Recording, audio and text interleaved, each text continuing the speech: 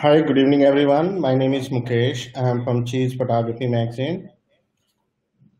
Um, welcome to another webinar from Chiiz.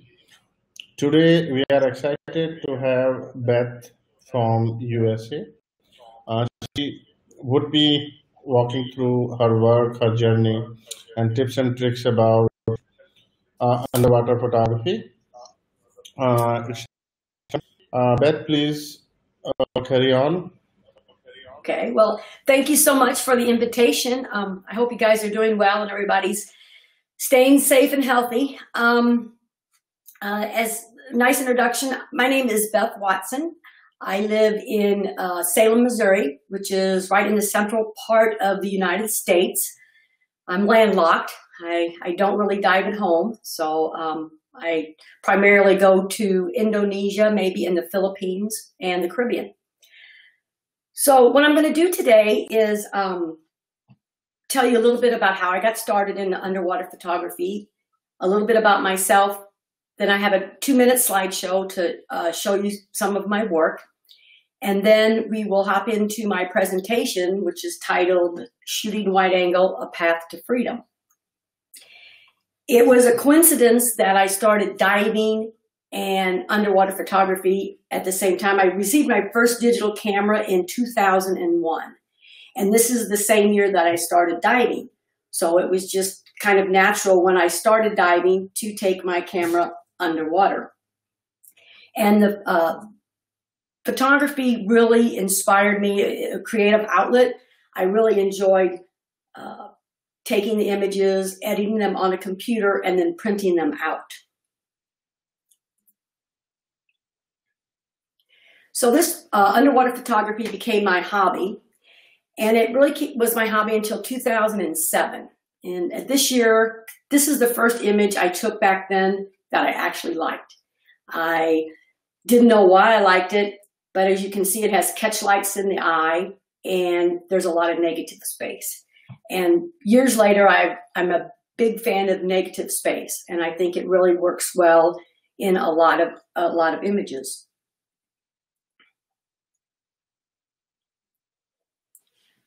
It wasn't until 2012, after my first trip to the Philippines, that my underwater hobby really escalated into my passion.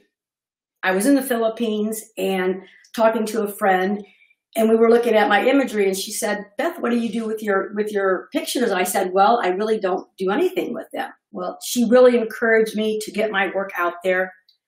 So i came home from the philippines and i built my a website. I started uh, sharing on social media platforms. But more importantly i began entering print and photography competitions. And these competitions really helped and developed my and was instrumental to my development as a photographer to sit there and listen to judges critique my work and works of my uh, fellow photographer friends was really um, what really kind of really got me interested and really helped me my path in in photography.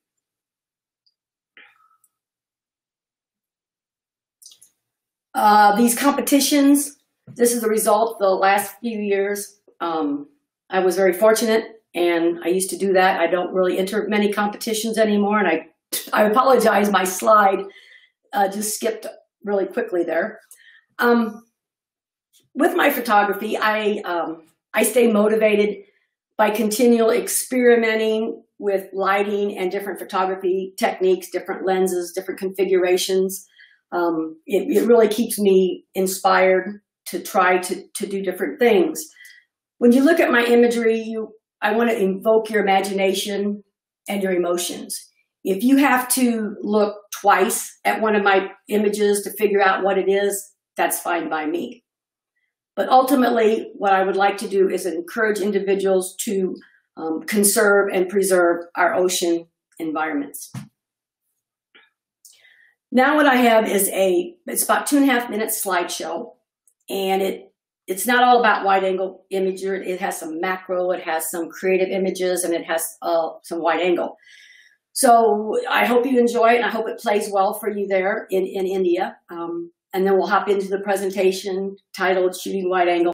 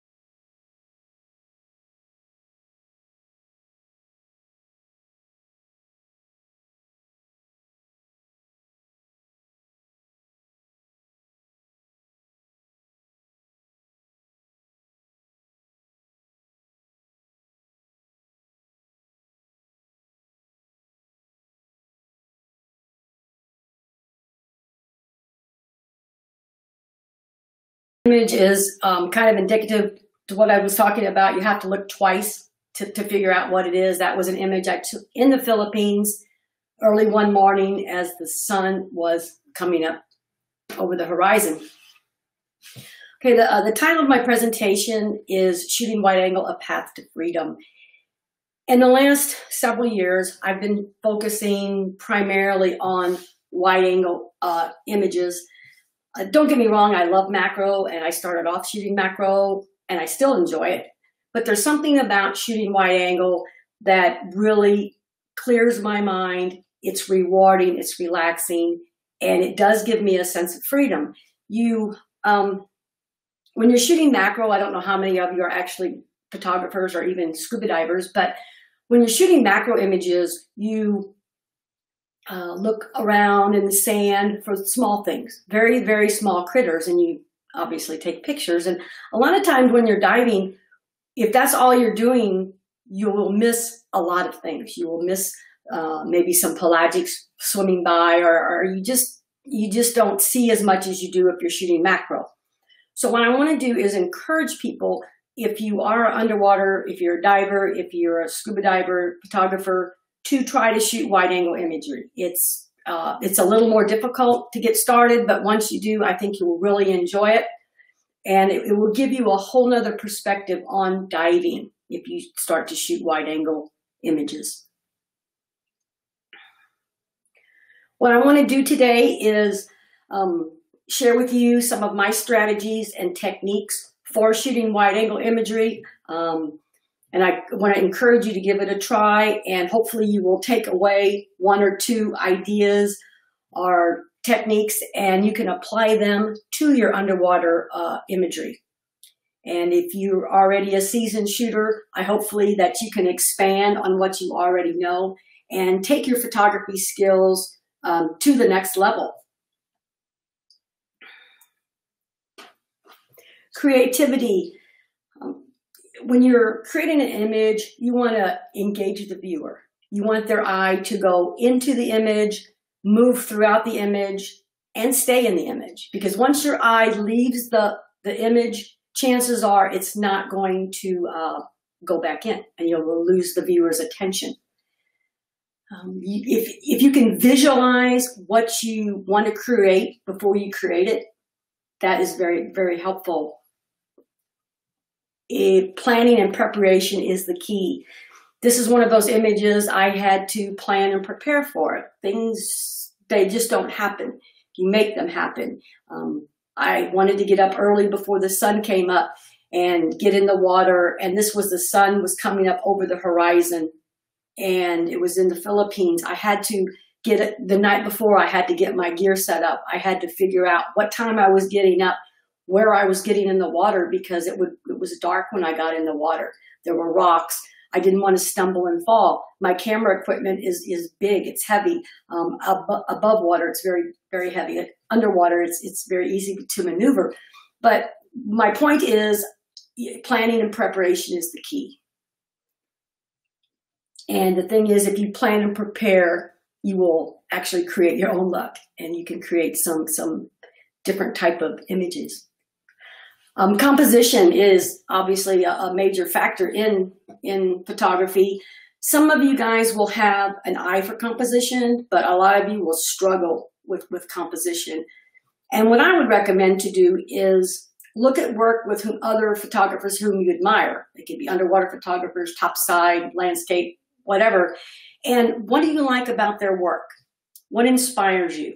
And then take that information and don't necessarily emulate them, but, but apply that to your own and create your own style.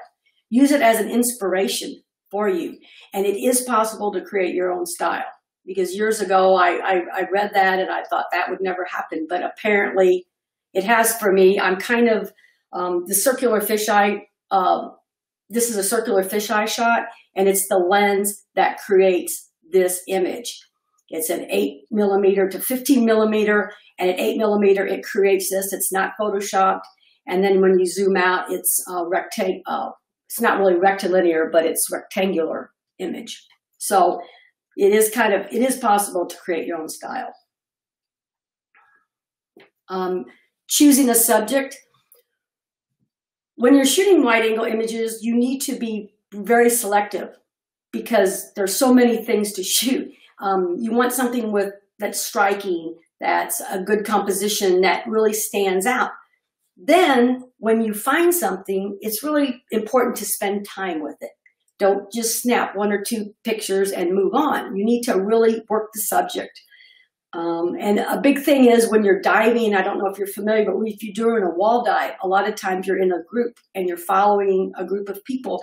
And you, this is a big Gorgonian fan, and it was probably probably as tall as I am, if if not, it was it was massive. And this was the back side of the fan. I actually approached it from the other direction. So what you need to do is make sure you turn around and look behind you when you're diving don't always just stay focused ahead because this was a much uh, more beautiful view from behind the direction I was coming. Then when you find a subject, shoot it from different angles. Shoot it from, uh, you know, up, down, and diff different angles. Turn, tilt your camera. Just some subtle movements of your camera can really make a big difference in the composition in, of an image. when we're diving, the most important thing is safety. And I would really encourage everybody to ask these questions when they're underwater. What's the current? You typically want to shoot into the current if you can, because it makes things easier. You can stabilize yourself better shooting into the current. What's my depth? How much air do I have left in my tank? You know, there's a lot of times that we're halfway into the dive, 45 minutes into the dive, and and there's something down deeper we want to go to maybe take a picture of. Well, you have to learn to cut your losses because safety is the most important things. And sometimes you just have to give up the shot and you have to be smart and, um, and ask yourself these questions. And if you do this on a regular basis, it will be just become part of your diving routine and just be, it will become second nature to you. Uh, buoyancy is, is critical to diving and to the underwater photographer. It, it's imperative that you have the ability to be able to go in and capture the shot and get out without disturbing the environment or the subjects. And probably more importantly, when you're shooting macro, because when you're shooting macro images, you're down close to the sand or the, uh, the reef. And you just really need to, to have proper control of buoyancy and your breathing. Um, and it's your responsibility as a diver and a photographer to, to become really proficient at, at your buoyancy and in respect and uh, respect your uh, subjects and, and the environment.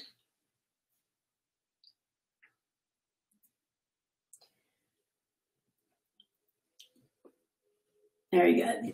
It is. It's it's very true. Diving is is all about diving, and, and being a photographer is is secondary. Um, I recommend if you start diving to not take a camera underwater until you are really proficient and are a really good diver. It's it's just so important.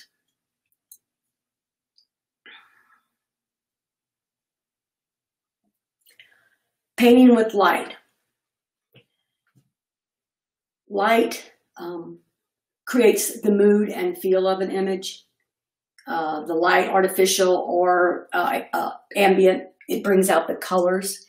And the, the angle of the light that is coming into the image, uh, that creates the textures and shadows, and it gives it, it's what gives the image a three-dimensional look. And when you learn how to, you need to learn how to shape the light. And once you figure that out, it really will um, take your image making to, to the next level.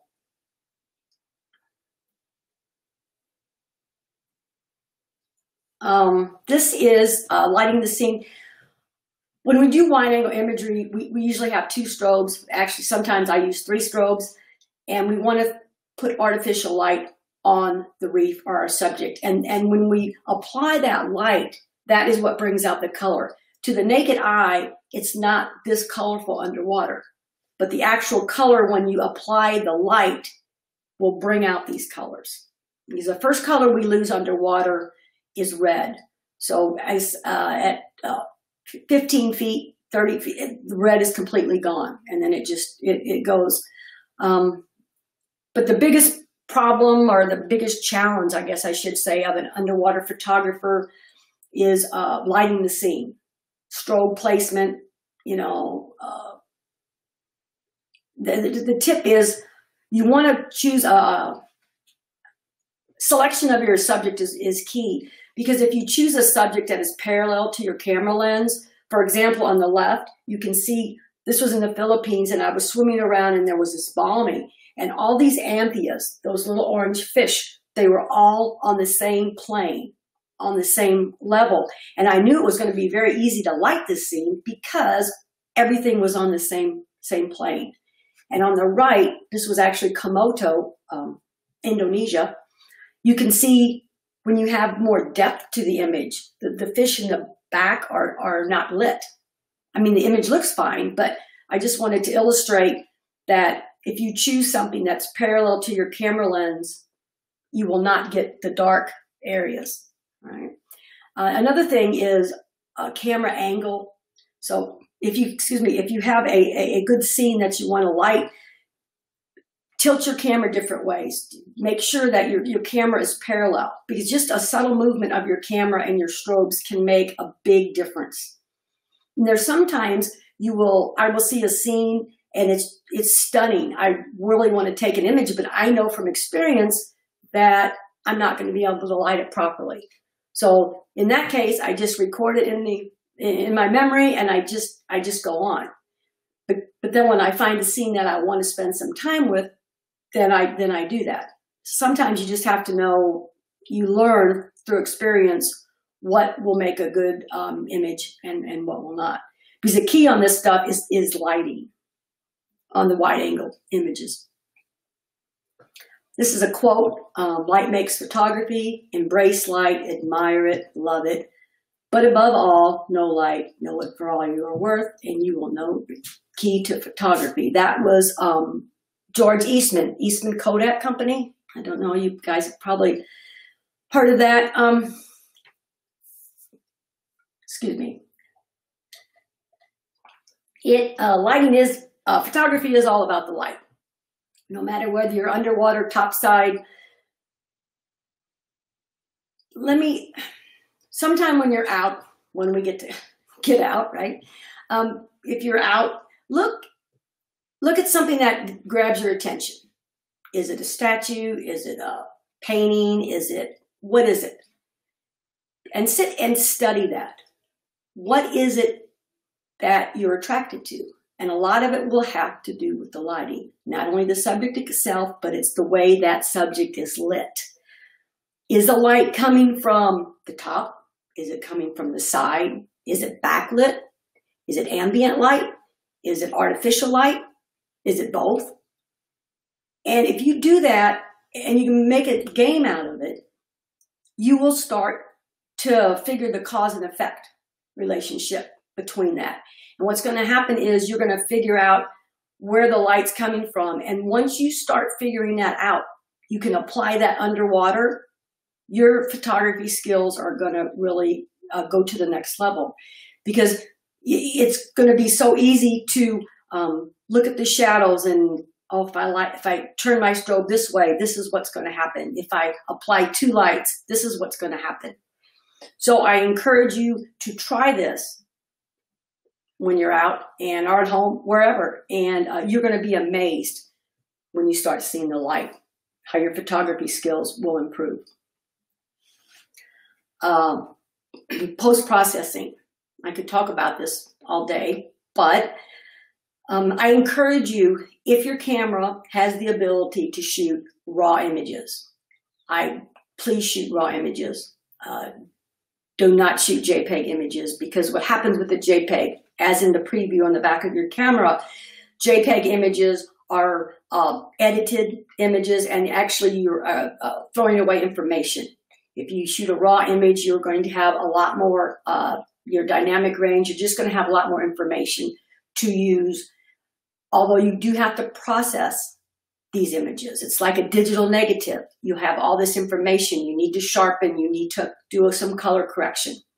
So um, I would encourage you to develop some kind of a workflow that suits you. Some people don't enjoy editing. Some people do. I I like to edit. I, I like the whole process of it all.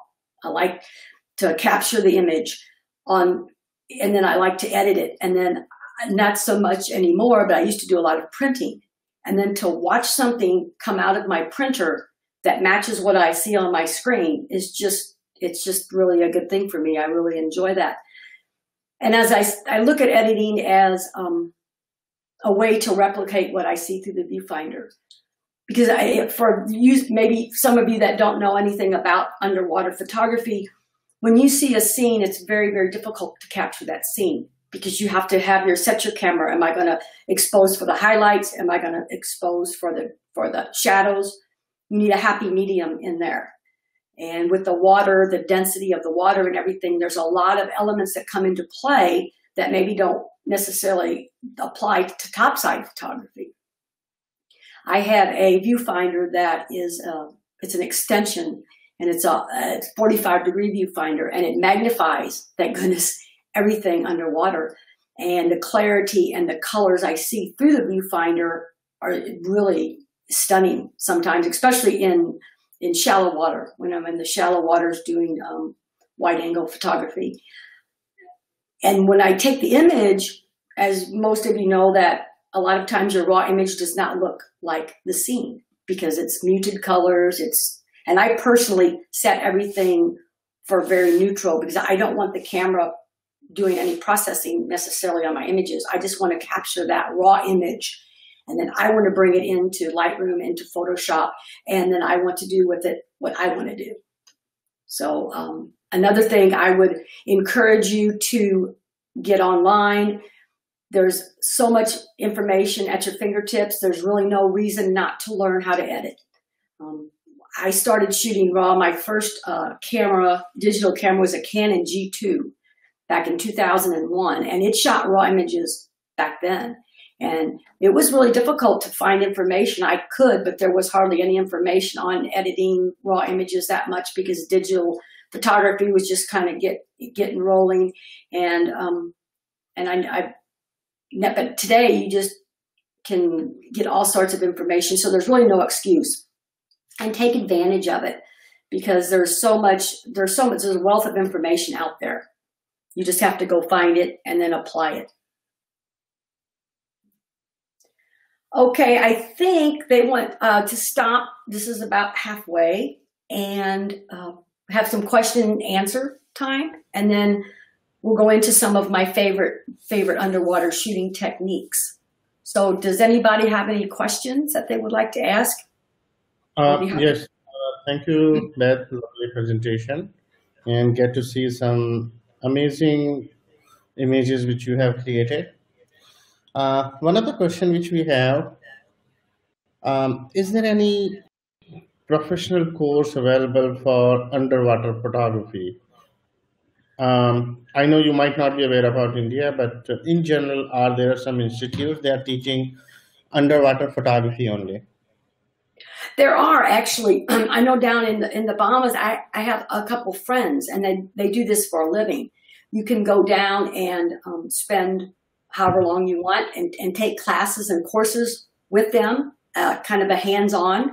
There's a lot of underwater. I've done actually myself, a couple workshops where we go on a trip for a week or ten days, and I, I teach you how to shoot. I, I help you edit your images. Um, I've done that. There's a lot of people that do that. Um, there are a couple schools that you can go to. Um, you can get a lot of information online. Um, you can take, I, I, don't know as many classes per se as there would be um, like on YouTube and things like that, but there are a lot of avenues. And if anybody ever needs anything, they can send me a message or something. I'll be glad to, to personally, you know, provide you with some, um, some links you know, for what, depending on your skill level and what you want to learn. As far as a camera, what I can say about a lot of it is um, practice above water. Practice I do a lot. I used to, especially with macro photography, I would practice on my kitchen table because if you cannot, if you can't do it above water, you're not going to be able to do it below water. Okay. I got off topic there a little bit. I'm sorry. Okay, no, no. Uh, thank you. Uh, we have Uh, another question from Pranav. He's asking, is there any difference in post-processing compared to the regular photography and uh, under underwater photography which you do? Um, that's a very good question.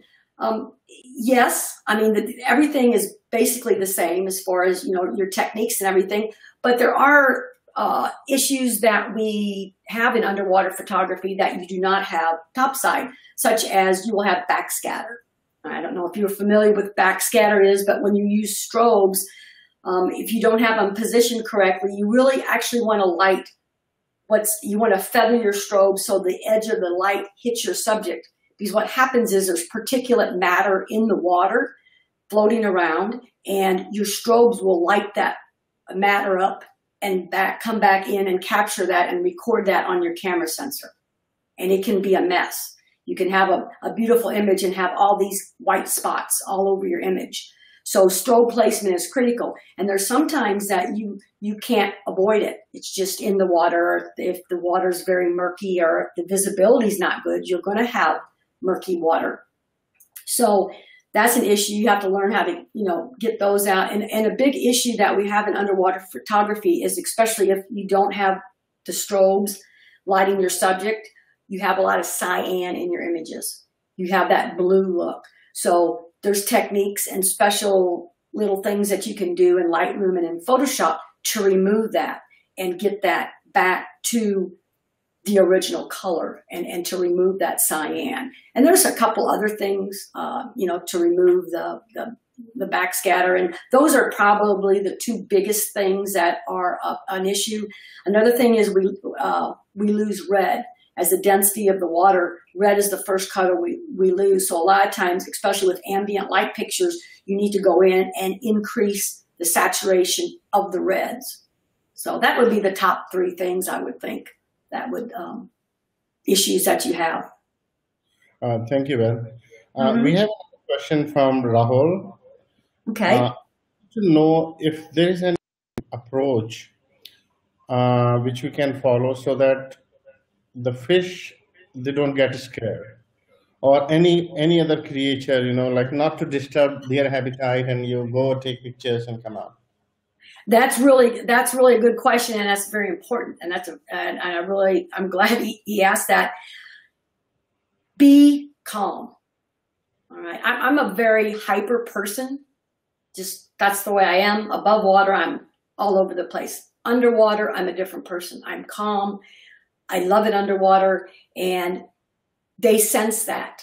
The fish, whether it's a small uh, fish or a, a big manta ray or the sharks or whatever, they sense if you're if you're nervous um, and calm. That's probably the, the, the biggest the biggest issue is just being slow underwater, not jerky. Um, and a lot of times, for example, a schooling fish, if you get um, if you swim parallel to them as opposed to swimming right into them, because a lot of times what they do is they're scared of the bubbles. That's what's scaring them off more than anything are the bubbles that are coming up from your from your regulator as you exhale. But I have found if you if you swim parallel with if there's a group of fish and swim parallel and then you can swim maybe a little bit closer and still swim parallel to them, they don't feel intimidated and they won't swim off. Um, and another another tip is to just hang there and watch them. Sit there and or for a while, and when they come, become accustomed to you, then you can go in. Same thing with macro subjects. If you have, let's say, a little mantis shrimp that's coming out of a hole, um, they'll come out, they'll peek out, they'll go back in, they'll peek out, they'll go back in. So if you get your camera set up and just kind of sit there and wait for them, eventually they're going to come out. A lot of it's just patience. You have to be very patient, especially with the macro photography. I know we're talking uh, primarily wide angle, but it, it's it, it's applicable to both, really. Wide angle scenes are kind of a little bit different, but you really need to be patient and good diving techniques. I mean, just still the buoyancy. Um, I, I don't. I mean, I'm not a fan. I don't move subjects. Um, I, I shoot them as they are in their in their natural surroundings and habitats. great thank you Mhm. uh, another question from Dr. Vikramjit. First of all, thank you, doctor, for serving us and helping our community and Yes, really appreciate it. Very much so. Okay, the question from Dr. Vikram is, uh, what are the preparation to be done in terms to know the habitat before going and shooting? Like, are there some resources uh, to find out uh, what all what to expect? Yes, that's that's another excellent question. Um, yes, um, what you can do is you can research the subjects that you want to to capture. So, for example, Anilao, Philippines is a very good place to go and capture macro critters. So if you get online and wherever you're staying too, a lot of times the resort or the or the place they will have information on their website or you can go in and, and just Google the critter itself, find out the habitat, the species, you know, what they live and where they eat. That's the main thing. Your dive guide, you'll have a dive guide that will go and take you around whether you're shooting macro or wide angle and show you different things. Well, they're specialists in finding those things. And the, the, the species that they can find, they are experts and they know what these animals live, where they live, what they eat. And that's the key on, on finding these things because a lot of them, they're always in the same location. And some of these things that I shoot, especially macro photography, I mean, we're talking minute. We're talking, I mean, with the naked eye, some of this stuff I can't even see with the naked eye. And I have a diopter and I have uh, special lenses that, that can capture these. And um, that's important. Um, there's a lot of information, and if you get to pelagic species, the same thing applies. You can learn about them, um, but but again, where you dive, they will take you to and give you the best opportunity to see what you want to see, right? But it's very good and very helpful for you to know in advance, though, what what where the habitat is and, and where these things live, right? Yeah, thank you. Uh, we have um, one more question. And That's this fine. is again a very basic question, which. Uh, we were expecting. How you lit a uh, subject in the light? The question is like, how do you take light inside the water? What are the okay. different covers? Yeah. I wish I had my camera. I could go get my my um my strobe. You actually, it is nearby. You can get. You can grab yeah. It. What? I'm sorry. If it is oh. there in this room, you can grab your camera or anything you want to show. Yeah, I don't. I mean, it's upstairs, but I could take a maybe. It's big. I mean, it, it really is. Oh. My um, I have. A, it's not put together. I didn't even think of that, but I, maybe I should do that. It's a enclosed flash. It's like a maybe big. Google. If you could show it on Google, so that may help if that is possible. Otherwise, that's okay. Show it where? Do you mean to go get it? My strobe? Um, no, no. I'm sorry, I didn't understand what you said. I'm sorry. Uh, you can show it on Google if that is something which you have available or any other photo which you have. Okay. I could do that. I have some photos actually. I could find them and I could display them later at a later time. Yeah, because I have that. I did an article one time. I wrote an article about uh, shooting wide angle and strobe placements, and I have pictures of my camera setup. I will do that. I'll remind me and I'll, I will share that with you and you guys can, can take a look because it's very interesting. I mean, it's a lot, it's a lot of stuff that I take. So, um, getting back to your question, uh-huh. it, it's called a strobe. There's two different ways you can light something. You can light it with constant light, which is a, like a video light, constant which I'm starting to get into underwater video now, um, or a strobe. And a strobe, it will create a flash. So it has a flash bulb on the inside. Mine weighs, I have, it's, the brand is Ikelite and it's a 125 uh, or one, no, I'm sorry, 160 watt. And I have these and then I have a sync cord and it syncs down to my camera. And then when I push the shutter on my camera, it fires these strobes underwater. And strobe, um, you lose a lot of the power from the strobe because of the density of the water. So in reality, I have to almost, if I can't really reach out and touch my subject, I won't get any light on it. So all those beautiful colors that you see in, in my most of the images, they are lit with a strobe. And I am very, that's one reason you need to have very good buoyancy and good technique diving because I have to get very, very close to these reefs. And you have to remember coral, it's all living subjects. I mean, these aren't, these are, they're, they're, everything's living.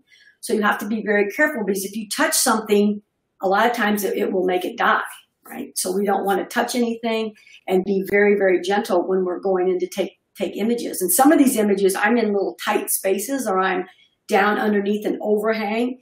And I have these big strobes. They're probably, when I have them out, they're, you know, that far out. Um, and that's what lights the reef up. And they, they go, you know, they, they, they, they recycle within no time. So I can take five or six shots very quickly. And that's how the strobes work underwater. And um, there's a lot of different, different um, types of strobes but mine are very powerful and, and, and big. I'd like to get something smaller because for travel, they're just, it, it's a lot to take, but I'm used to it. So anyway, but that's how we get the light underwater is with the strobes. When you're uh, in shallow water, you can do ambient light and you can get some nice images. But when you get deeper, more than, I don't know, your meters, probably nine meters to, to 10 meters, you lose your light and you need you need the artificial light. Okay. Um, Does that make sense? Thank you. So uh-huh. uh, another question which we have uh, mm-hmm. is difference between wide angle photography, which you specialize, or the general um, underwater photography. I, am sorry, you're asking um, the difference between wide angle and macro? Yeah, isn't it a different honor of a photography? So macro we do understand, but wide angle, is it just using the particular lens? Oh, yes, that, that's correct. The difference between wide angle and macro photography is just the lens. So for example, underwater for my macro setup, I have, um, I use, I'm a Canon person. I, I shoot um, Canon 5D Mark IVs. And then I have um, 100 millimeter, 2.8 is what I use for my um, macro photography. And then to get the super magnification, I have a plus 23 diopter and I have a plus 16 diopter that I put on the front, which makes my working distance, for those of you that are familiar with what that means, very, very narrow. Um, and then for my wide angle photography for underwater, I have two lenses that I use. I use a 8 to 15 millimeter circular fisheye, which is what a lot of these images are, which I mentioned before at 8 millimeter, it's circle. And it, the, the field of view of this circular fisheye, which is, you can see the image there, it's almost 180 degrees. It's, it's very, very wide. It encompasses, I mean, the, the whole scene. That's why I really like shooting it. And then when I zoom this lens out, it is um, 15 millimeters, which is the, the rectangular normal type image. Um, and a wide uh, fisheye lenses really work well underwater. I'll talk about that a little bit later, but the, the, they're, they're distorted. You know, above water, they're, they're really, sometimes you can't really apply them very well. Uh, the use is, is not that great above water, but underwater, it, they really lend themselves well to underwater images. And then the other uh, lens that I use underwater, I have two, um, I have two uh, wide angles is a 16 to 35. And that's just your rectilinear normal wide angle lens. So I really have one macro and then I have um, two wide angle lenses that I use. And that's the only difference. Um, the wide angle is, is just the lens. And then you have to have different ports that go on the front of your housing to accommodate the, each lens. So there's different lenses. So I have three different ports that I use. I have one port that covers my wide angle lens and then actually two, a big dome port, and then I have a different dome port for my macro lens. So, but that is okay. the difference, it's the lens. Uh, great, uh, thank you. Um, I have another question, like how much time it takes right when you reach to location till you are under underwater taking the pictures, like Oh, time, okay. putting up the gears, all checklists, you know, like the workflow, if you could describe in uh, to us. Well, that is that's another good question. Mine. Um, again, it, it, it kind of depends on the trip. Uh, if I'm going to a land-based um, location, sometimes I I take that first day off and I just relax and I take getting my gear set up. Sometimes I go on what we call a liveaboard. I don't know if you're familiar with that is. That's a boat and I will live on the boat for the duration of the trip and I will dive off the boat and um, there might be uh, anywhere from 12 to 16 people on the boat and the boat is just strictly for diving and we eat we sleep on the boat. So it kind of depends on the trip but when i get to a location typically the first thing i do is of course unpack and i have lots of gear. I bring everything with me except my tanks.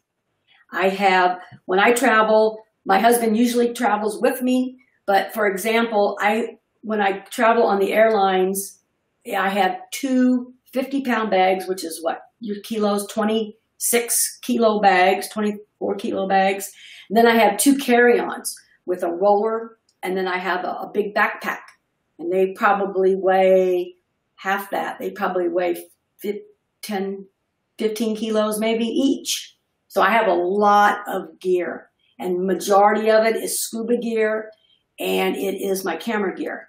I have it's embarrassing sometimes when i travel how much i have but i travel to these locations halfway around the world. If if i don't have it you know i can't use it. And that's why i'm there. Because i go to these places and what i do now is i'm i create content. I go and i create promotional imagery and i do some videos for their promotion and for their marketing. So i need to take everything with me. Right? um, but when i get to a location i usually set i usually unpack first and then i, I depending upon where i am that they'll take your dive gear a lot of times they'll have people working there in the resort or in the dive location and they will take your gear and they will set your gear up you'll have a box where you put your um, bcd in your fins and all your dive equipment in there some locations will have a dedicated camera room where you can go in and set your camera up. Other places you just do it in the room where you stay. Most places these days have um, a camera room of some sort because it's become very popular. So then I take all my camera gear up to the camera room and then I assemble my, my gear. Um, and a very important thing I learned years ago, a lot of people, we like to talk when we're assembling our camera, but I found over the years, I, I sometimes I put something in my mouth so I can't talk to people because I don't want to be rude, but it's very important to put it together correctly because I've had two complete floods over the years. And you're going to, if you do underwater photography, it's not if you flood your camera, it's when you're going to flood your camera because it will happen. No matter how careful you are, someday, if you do this long enough, you will have an issue and get water inside your camera. So I found out if I just kind of pay attention and really get my camera stuff set up the night before, then I, I have a lot better results. Um, and sometimes, very seldom, do I dive the same day I reach a location. A lot of times, if I uh, when I go to the Philippines or when I go to Indonesia from the U.S., we fly and then we'll spend the night uh, either in Manila or I'll spend the night in Jakarta, something like that, and then go the next day, either another plane ride or uh, whatever to the location. And then when I get to the location, sometimes it might be two or three days. Some of these places I go, it, it takes me four days to get there, four or five plane rides. And it, some of them are very remote. Um, but when I get there, very seldom do I dive the same day and we get our stuff set up and then typically then you relax that day and then you you go in the water first thing the next day all right and then your first dive of each trip usually is what we call a checkout dive and you go in some people take their camera some people don't you go in i always usually take my camera um, you go in you check your equipment because you very important because you've been traveling with all your equipment. You want to make sure your regulator and your everything's working properly. So that's what it'll do. And then you'll start your diving after that. So it just Um, depends on the location, really. A lot of that. Okay. We have we have related related I'm in sorry. that, in that in, we have a related question that one dive, how much time usually underwater? And second question is what are your usual settings? Especially people are asking about the aperture. I'm sorry. Uh, settings for my camera. Uh, I'm the sorry. setting of the camera, usually the aperture and uh, shutter speed, what usually Okay, sure. All right, that's that's a good question. Um, the first part was how long a dive. For the most part, most dives are an hour, 45, 50 minutes to an hour. Sometimes, if you're doing macro diving in some of these other locations, um, you dive longer. The longest dive I've done, I think, was two hours. I was shallow and we were doing a macro diving. But for the most part, an hour is about the time limit because a lot of these um, businesses or the dive uh, shops and things, they have a schedule and they have they have maybe four dives a day scheduled or three dives and four dives and a night dive, and they need to keep their boats on schedule. So you have a time limit. And also, you most some people. I'm fortunately I'm very good with my air consumption, so I can stay down longer than some people because some people you know, they breathe heavier and they, they they they're not as good with their air consumption. So that that comes into play too. My camera settings for wide angle, um, I call them my jump settings, and what that means is when I jump in the water, that's what my camera's set. But I'm always changing my my settings. I'm never I never just set it and leave it. Same thing with my strobe positioning. I am constantly moving my strobes around. And that's what makes um, some of my stuff maybe a little bit different, only because I like things differently and I'm not, you know, I try to get angles and I try to dra- I'm sorry, create drama and um, some contrast and things like that. Um, my, my jump settings for wide angle typically uh, one 125th 125th of a second. And the reason that is because I want to stop action. So example, like these fish you see on this image, they're schooling. Well, I want to stop the action. So I, I do that at one, 125th of a second. My uh, shutter speed is typically F10. I mean, my aperture is F10. Um, I like to, I like to have a more depth of field. And then my uh, ISO is usually about 160 because that's that's the sweet spot for Canon. And then I typically go up increments, excuse me, increments of 160. So I go from 160 to 320 and then up there. Um, 640 is about the highest that I will use on my um, ISO underwater. But today the digital cameras are getting so much better and they have improved that you can um, shoot at a higher ISO but there's really no need to if you're using strobes. If you're doing an ambient light shot such as this one you see on the screen, strobes weren't used. So if you're using that, then or you're, maybe you're shooting a wreck, uh, you know, a, a wreck underwater, which I actually don't do a lot of. I would like to do some more, but I don't have a, a, a lot of experience with that. But there again, you would bump up your ISO on a shot like that. But you typically want as, as a normal topside photography, you want your ISO as low as you can possibly get it. And like I say, probably for 90 to not probably 95% of my images are shot at an ISO of 160. Okay. So Okay. that's my top settings. But then uh, very quickly, you can throw all that out the window because if you want to drag the shutter, if you want to create, which I like to do that type of thing, and you want to create blur, which I do, then it's the opposite, right? Or, or even on macro shots, macro um, images, a lot of times I'll shoot at 2.8 and sometimes I'll shoot at f25. It just depends on what I'm using and what I'm trying to create. So it's, it's very, you can be very flexible with it. And you need to have an open mind and you need to try different things.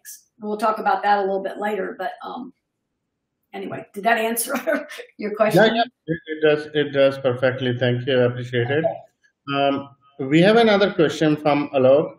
Um, what have been your like you've been shooting in Manila in several locations. You mentioned that sometimes you had to change six or seven flights to reach those locations.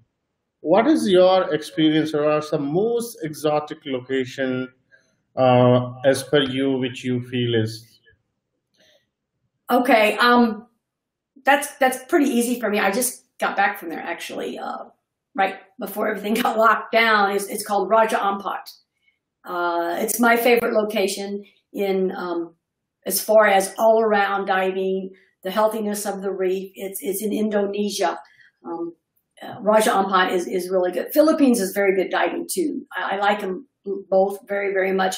But if I have to pick one spot, I would say Raja Ampat. They have a variety. Uh, if you saw my first image of the, the batfish, that was in the mangroves at Raja. They have uh, very beautiful corals. The marine life is just uh, the healthiness of the corals and uh, it's stunning. And the topside photography as well. I do a lot of drone photography and um, um, it's just, just stunning. So that's, that's my favorite. There's a lot of places I haven't been. The problem I have, I go to these places and I really like them and I go back and I go back and I don't have enough time to, to go to some new destinations. So that's a bad, I guess that's a bad problem, not a bad problem to have, but, um, mine is, mine is Raja Ampat. So. Good. Uh, we have another question. Uh, have you done any underwater photography other than ocean, like which may be some lake or some pool or some? Honestly, um, no. I, I haven't. I, I, I, say I'm a fair weather diver. Um, I'm spoiled in the fact that I, I, I don't like cold water. Right? I have I have some friends. They dive under icebergs and they do all this stuff, and I'm like, it's, it's too cold for me. Um, at home, we I have some friends. They dive in the lakes around here, and there's some some caverns, and I, I just don't I don't do that around here. I, I have to be honest. I have taken my camera and like practiced a time or two, experimented in a pool or something like that. But I, I usually all my work is done on when I'm gone. So. Um, thank you. Uh, we have another question from Rona. Um, mm -hmm. You had mentioned in previous part of your presentation about macro setup. Mm -hmm. uh, so two part of the questions, like what all the gears you take. Primarily, I guess you would be changing your lens to macro, and mm -hmm. is it the different habitat for finding those macro subject, or is the same place you decide to shoot them as a macro, the same shots? You're talking about macro and wide angle both? Is that the kind only, of um, the only the macro we are talking about? The question is about only about the macro photography, macro setup. Oh, okay, I see. Um, I have a lot of, um, over the years, I spent a month in, in Anilao, uh, Philippines at Anilao Photo Academy. They invited me there to just mentor people and I got the ability to, to do whatever I wanted for, for a month, um, experiment. And I, I, did a lot of different things with macro, and that was all macro photography for the most part. Um, as you start with the macro lens, but I, I make a lot of things. My I'm a DIY kind of girl. I like to make things. I've made a lot of different filters for macro.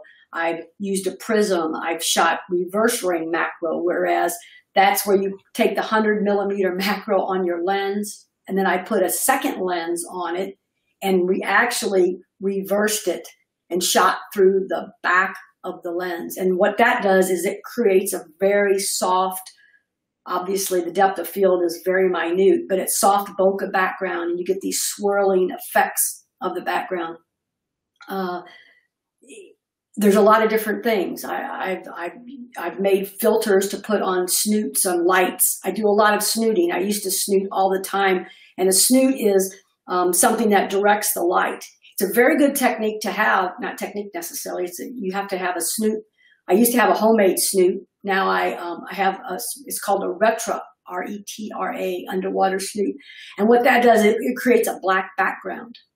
And you just highlight the subject. And it's a very good way to isolate your subject from the background. Because a lot of times the macro stuff is always on the sand for the most part. So that's what I try to find a subject that's perched up, something that is up off the sand so I can get down underneath and, and get a nice shot of it, of it on an upward angle. Because most everything macro, especially, you want to shoot at an upward angle. You don't want to shoot your your best. Um, it's not good to shoot directly down on your subject. You want to shoot, try to shoot parallel or underneath your subject. And to do that, it needs to be in a good location, up on a, a, a piece of coral or up on a hydroid. I don't know if you know what that is, but um, something like that. And I have the different diopters. I have two different diopters I use for magnification for the for the macro. What else do I have? I have a lot of different things that I've made. I have a little bag. I've even taken uh, the last couple years, when I was in, in Anilao, I had a prism, a glass prism that I, I shoot through um, and try, try to get some, some effects. So I, have done a lot of different just experiments. Some things work, some things don't. So you just have to, it's trial and error for me. And I, I love doing that, sitting down and, and thinking about trying to do something, something different. Um, the habitat, again, you, the key there is to find, to have a guide that's familiar with the area and is um, knows the area. And most of them do. The they're mostly local guides wherever you are, and and they're really familiar and very good at finding the critters for you. So typically, what happens is they will find you a subject to shoot. This is for macro, and um, then you go shoot that subject, and then they're hunting for another subject for you. Yeah, you might have a group. You may have your. I've had my. I've been in a group of you know four people. I've been in a group by myself. I've been in a group with 15 people. So it just depends on where you are, what kind of diving you're doing. But for, for macro, um, it's important to have a good guide because I, I've, I've done this a long time and I have a difficult time finding things. All right.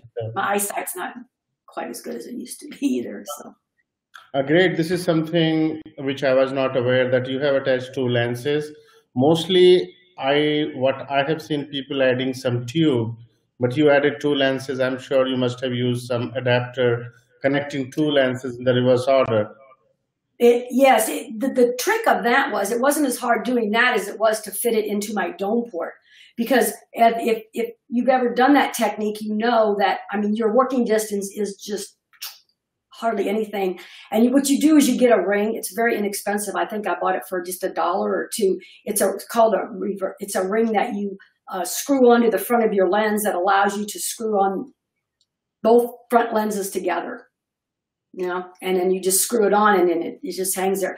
But the, the the hardest thing for me was i have um, extension rings and i had to figure out what i used to be able to fit it in my housing because it had to fit right up against the glass part of the front of my housing so i could focus because if it's back too far in my housing, I won't be able to focus reverse ring macro.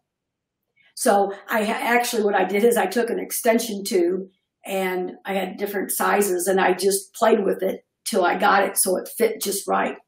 And then I was able to use it. And I really enjoy doing it. It's a lot of fun, but you, there again, a subject is very tricky because the depth of field is like almost non-existent. So you have to pick something that, you know, is really like an eye of something or maybe an egg. An, uh, anemone eggs are very good to use that on. But okay. that's what you do, and you can do it without stacking them. I've done it. I've done it in lots of different configurations. I've done it with all my lenses. I've used the reason I use the hundred is a little maybe more advanced, but um, I use the hundred millimeter macro lens because I can control the the the aperture on that lens. Because when you reverse a lens, you have no control over the lens. It goes to whatever, if it's a 2.8, then you're going to shoot 2.8 reversed. But what you can do is go into your cap to go into your lens and stop it down to maybe f8, f10. Take the lens off. The aperture will will stop down. It won't revert back to whatever it is, 2.8 it will stay down and you then you can reverse it and it gives you a little more control. It gives you a little more depth of field, if that makes sense, doing it that way. But I found stacking the lenses using my 100 millimeter first, I could shoot it at f8. And then my, and I used a 50 millimeter and I reversed the 50 on there. Okay. Uh, we have a follow-up question. You had mentioned that you've been using drone as well at certain location. So is uh-huh. the drone related to underwater photography too, or is it uh, a separate genre which you follow? No, it's separate. It, it's it's just a normal, uh, just topside drone, and I use that to supplement uh, my content creating. I use that to you know to take pictures of the boats, the resort, you know, do little promo videos for them with the drone. Um, although they do have underwater drones. Actually, I was uh, a company reached out to me wanted, wanted me to try one out, and um, I'm like, no, I have way too much stuff to take. I just can't get into that. But there is, and it's becoming. I, I've never seen anybody use one, but they do have underwater drones now. And the, the, the problem I had with them, you have a, they're tethered. You know, they're, they they have a, I don't know how it would work. I would afraid, I would be afraid it would get like up against the reef or something like that. But they are using underwater drones now. That's a good Oh. question. Oh, that's it. That's interesting. So underwater drone means you Mhm. don't have near to the fish or other creature. You just control the camera from a distance and you take picture. Picture. Actually, I, I believe you, you, you control it topside. So it's like you would put the drone in the water and the drone goes off and then you're controlling it. But it's tethered. So, I mean, how far, you know, maybe some of them are untethered now, but then how would you get, you could get stuck very easily. So I don't know. But it's Uh, interesting. It would be interesting to, to try. And um, another question which I had: Do you carry two bodies underwater, or two camera bodies, or No. I, I, I don't. I have, uh, uh, no, I do have two camera bodies. Uh, typically what I do is I keep one top side and then if I want to take images of whatever, and then I have one, I don't have to tear my camera apart to get into it to, to get my, my camera out. Uh, no, but I have known people to do that and I have seen people do that. I actually have a friend from, he lives in Belgium and he had two camera and he had, a, they were both, uh, a little positive buoyancy, which means they would float. So he would have one tethered to him that was floating. I mean, we're talking big system, two of them. So he had one for wide angle and one for macro. But no, I'm not that crazy yet. That's too much. But it is possible. Some people do do that. And another option, another idea is, and I've thought actually about doing this, is taking, if I'm shooting wide angle, for example, to take a little compact point and shoot with me, just to if I needed it for whatever reason. But I, I haven't done that. But that would be more realistic than than taking two camera bodies. Um, I, I, there is a there is a question uh, from Pankaj. How do you keep a track of time when you are underwater? And then additional question is, do you communicate outside the water? Any base station? Do you have any voice communication, like wireless or some communication? When, when I'm underwater, Yeah. No, um, you can. First of all, you have what's called a dive computer, and it's it's a watch. Most for the most part, it's a watch now. Sometimes it's a gauge, and it keeps track of your time. It keeps track of your depth. It keeps track of your air.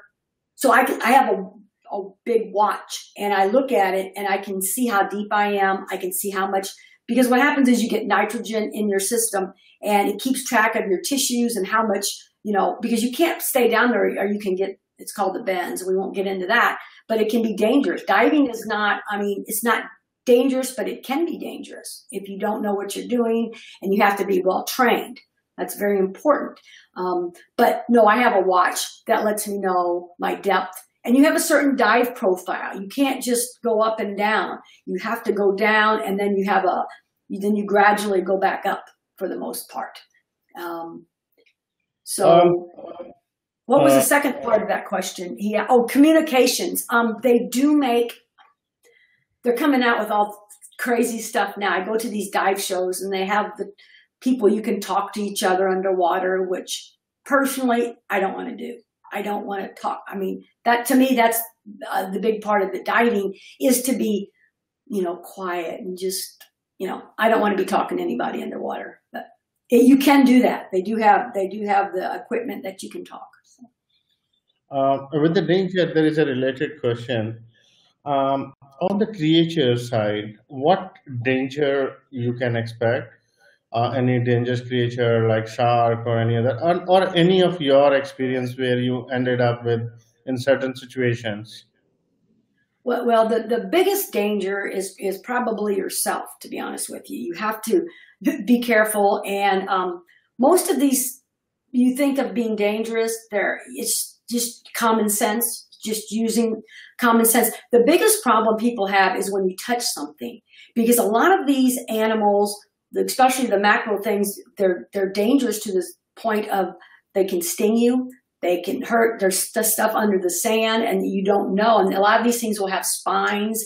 And for example, I don't know, in my um, slideshow, there was a, it was called a blue ring octopus.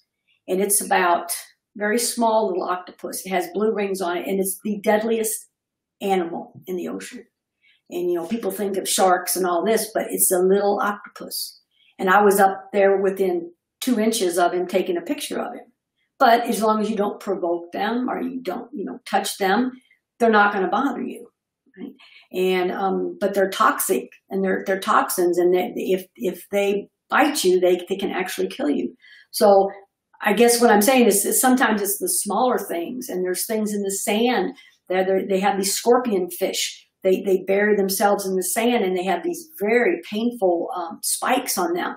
So if you inadvertently stick your finger in the sand, it's that type of thing that really could be more dangerous than say a shark, right? So it's, it's like, so that's what you have to watch out for. Or even some of, there's these hydroids, they, they call them, they call them fire coral.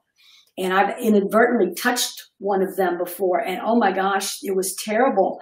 Um, the, the pain, you know, goes away, but it, it's more that type of thing you're going to come in, in contact with than like an animal, right? Does that make, yep. Yeah. Okay. In while diving, any unusual subject you have come across or something species which was not known or anything treasure or something maybe? no, no treasure. I, I did find a phone. I found a Samsung brand new phone in um, uh, Komodo.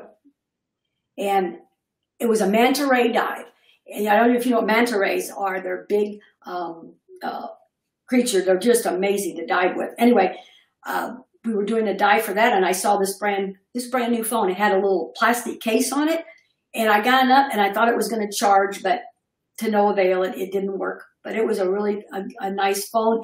Um, probably the rarest thing that I personally have seen. It was years ago, probably 20, I don't know, not 20, but 15 years ago, I was in Belize and um, there was an octopus out in the day, and then there was a moray eel.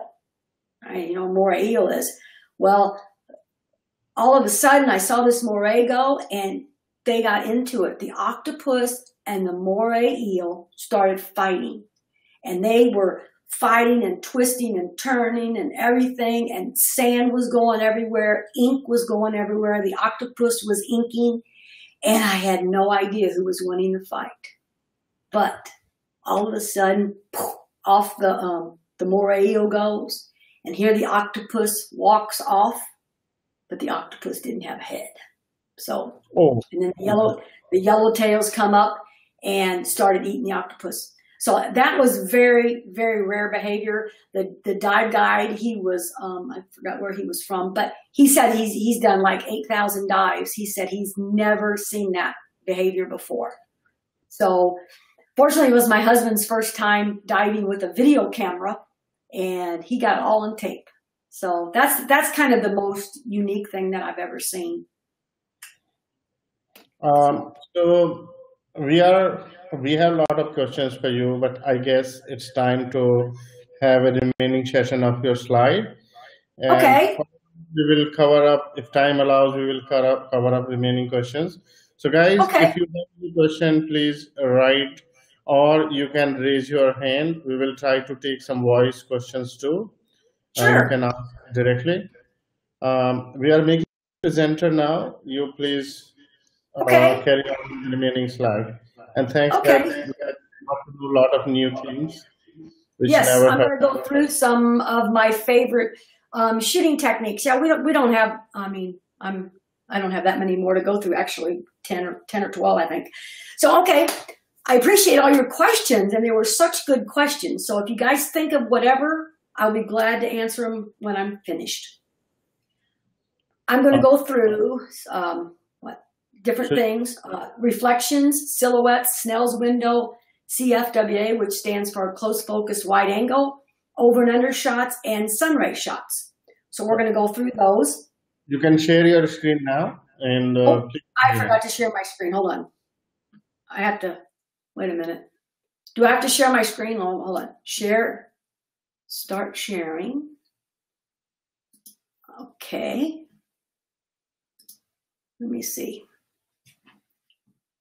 Let me go back to my keynote here. I forgot I had to share it back. Um, yes, we can see our screen now. now. All right. Let me go to play.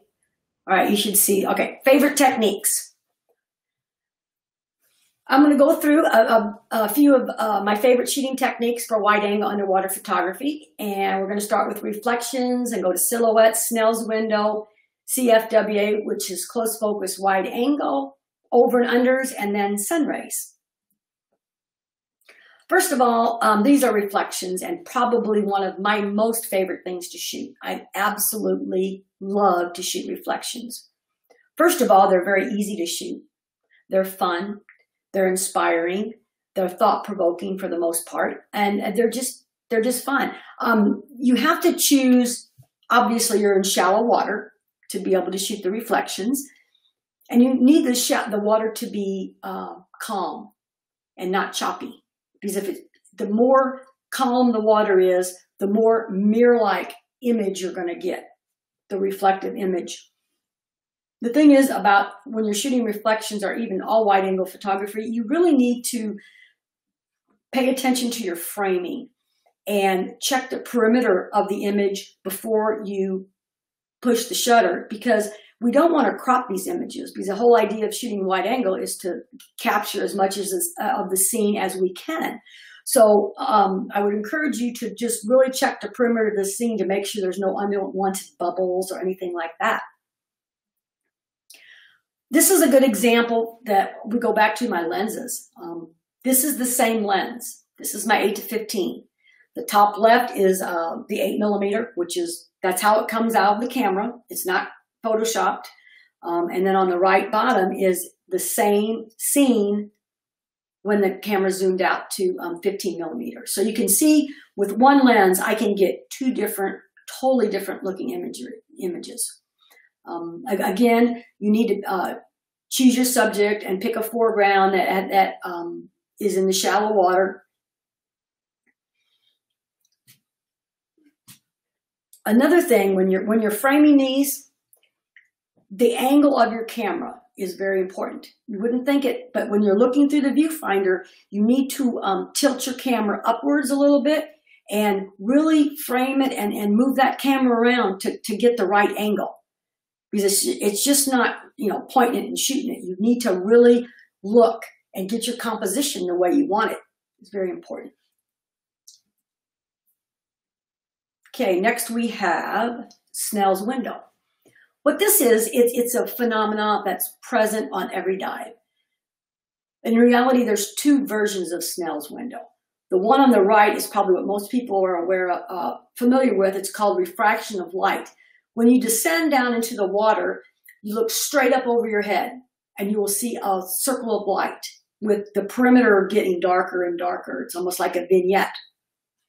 That is referred to as Snell's window. It's there every dive. But another version, or another type, I guess, is called total internal reflection. And what that is, that is when a person underwater can see something above water. So needless to say, it needs to be shallow water. But here on the left, those are mangroves, which is one of my very favorite things to shoot. Um, you can see the mangrove roots going down into the water. But then you look up, and that's what's above water. You can see the, um, the leaves, you can see the sky, you can see the clouds. So that's an example of that. And again, framing is, is very, very important. Here are two more examples of um, Snell's window.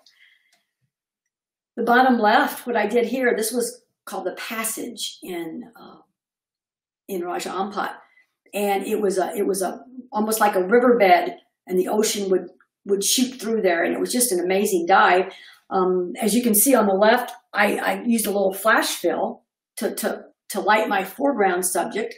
And then as you can see at the top, we have a mangrove. There was a canopy of trees that was hanging over this real narrow passage we were diving in. And you can see the trees. You can even see the, the bark of the tree is like a birch, uh, white. And then you can see the clouds and everything else. And then on the right, we have another example of the, uh, of the uh, Snell's window.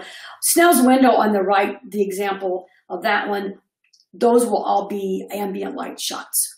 So that's one where you're going to have the cyan color, you're going to have to meter the water and, and so on and so forth.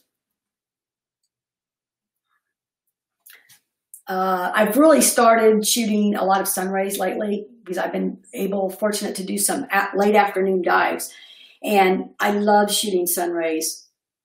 Um, it's it's really they, they, they can be kind of compelling. But the thing about sun rays is you need to uh, shoot them early in the morning or late in the evening when the sun rays, uh, when the light is penetrating the water at a, at a lower angle. And noontime is not a good time to, to, to, to shoot this, the sun rays. Again, to get something like this, you need to be in shallow water. Um, the right image at the bottom is a reef scene. Actually, I just took this image uh, in January and in Indonesia, and I, I lit I lit the the front part of the image as you can see with strobes, and then I just the light in the background, and then the fish were swimming. Actually, the fish were swimming fast through the through the scene, which you wouldn't know. But um, and and when you shoot these images, you want to use a, a low ISO. You need to bump up your shutter speed to maybe maybe even sync speed, maybe two 200 uh, one, I would a minimum of 125, sometimes 160. It just depends on, on what your sync speed is. Uh, two, I think it's 250 for what Nikon and, and mine is 200. Uh, and again, you can apply flash fill to, to the foreground. My aperture, you need to bump up your aperture to be able to uh, get create a depth of field, maybe f16 possibly. So you really need powerful strobes to do something like this because you're combating, you're, you're, you're, fighting with the sun. So on the image at the bottom right of the corals, the hard corals, uh, my strobes were probably full power to be able to, you know, overcompensate for the sun. But there again, I'm probably within a foot, under a meter, probably a half a meter from these corals. Otherwise, I wouldn't be able to light them. Uh, hey, Beth, I think it's a good opportunity. I guess uh, there is a diver there. If you could mm-hmm. explain a bit about the gears, what all these things are called. Oh, okay, good idea. Um, okay, this was our actually the the guy that was he's well was not the captain of the boat, but he was uh, he ran he ran the dive operation, and we were diving together. And this was a shallow water dive in um, Raja Ampat. And as you can see, there's his camera system. My camera system's uh, similar, but I have uh, two big strobes there. And actually, my, my system's is bigger than that, actually. Um, you can see he's got fins on, and then he has the jacket on the back. That's the BCD. That's what we uh, put air in and out, and that's what we get our buoyancy with, and we call that trim. So we want to trim. As you go down, you need to put inflate your BCD a little bit to get your buoyancy proper and everybody has different needs and it depends on your i always wear a wetsuit and a wetsuit is the covering for your body that um, keeps you from getting cold. And i have a tendency to get very cold. So i always wear a wetsuit and a hood. And uh, this guy his name's michael. He doesn't have a wetsuit on. He dives all the time and he likes to dive like that. But for the most part where i dive most people have a wetsuit. Um, and you can see you can't really see his tank but his tanks, if you look bare at his waist, you can see the back of his tank. So that's where his tank sits, and the tank hooks onto the BCD. And then how we do it is this was on a liveaboard trip. So you get in a small boat, and they have all your gear sitting on the boat. And then you go out to the dive site, and then they help you gear up, and you put your gear on on this small boat and then you do a back roll into the water and then the the boat uh, person will hand you your camera. And then you go to do your dive. And you can see the regulator in his mouth, and that's what helps you breathe. Um, and then he has the goggles on, of course, to be able to see. And my goggles, I have prescription masks because my vision, you know, for distance isn't very good. So I have I have uh, special goggles that allows me to see distance. The same prescription that's in my my glasses here. Um, uh, let's see what else. That's that's about it. And there's like a, there's a we have a safety sausage we call it, or a, or a, a little you can see it on the right there. It's a little, little cylinder looking thing. It's a line. And what happens is at the end of the dive, you put that up, you deploy your safety sausage and you, you blow up this uh, colorful, it's usually bright yellow or, or orange. And then you deploy that to the surface when you're at about 15 feet doing a safety stop. Because at the end of the dive, we go up and we wait for three minutes and do a 15, uh, a three minute safety stop. And then your sausage, you shoot it up to the surface and then the boat drivers know where you are. Because, you know, some places we go, there's no boats around and other places we go, there's lots of boat traffic and it can be very dangerous. So we need, as divers, to be aware of that and deploy this safety sausage so um, other other boats and things can see us and know where we are, so not to drive over over us while we're while we're surfacing. Um, his camera system, he has a mirrorless camera in there. He, I don't, he has a Sony, I think AR2 is his system for those of you familiar with that. Um, and he is shooting strictly video. His lights there are um, video lights. And I have two video lights now that I put on in conjunction with two strobes. So, and he has actually has a monitor. You can't really see it in this image, but he has a monitor um, oh, for video on the front of his camera, which is which is very nice. Um, I think that's about it for for that. You can see the different tubes. There's high pressure, low pressure valve. You guys are interested in that probably, but um, it's it's it may, might look a little intimidating for those of you that haven't done it, but trust me, it, it's it's wonderful. It, I love love to be underwater. It's just so calming to me, and it's just it, it's just wonderful to be able to breathe underwater like this. So. Another question, or does that answer it pretty good? No, it, it, it was, you know, like I saw that picture, I thought it's a good opportunity right no, now. that's a great, great, just anytime, just because I don't think of that and you need to just jump in anytime. I, I uh, sure. appreciate it. Uh, please continue. Okay, um, silhouettes. Silhouettes are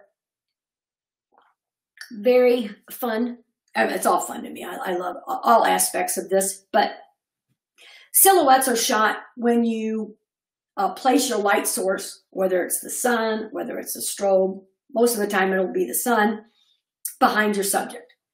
And it's really important when you do a, uh, to not blow out your light source. That's very easy to do because especially when it's the sun, it's so powerful, it's very easy to blow it out.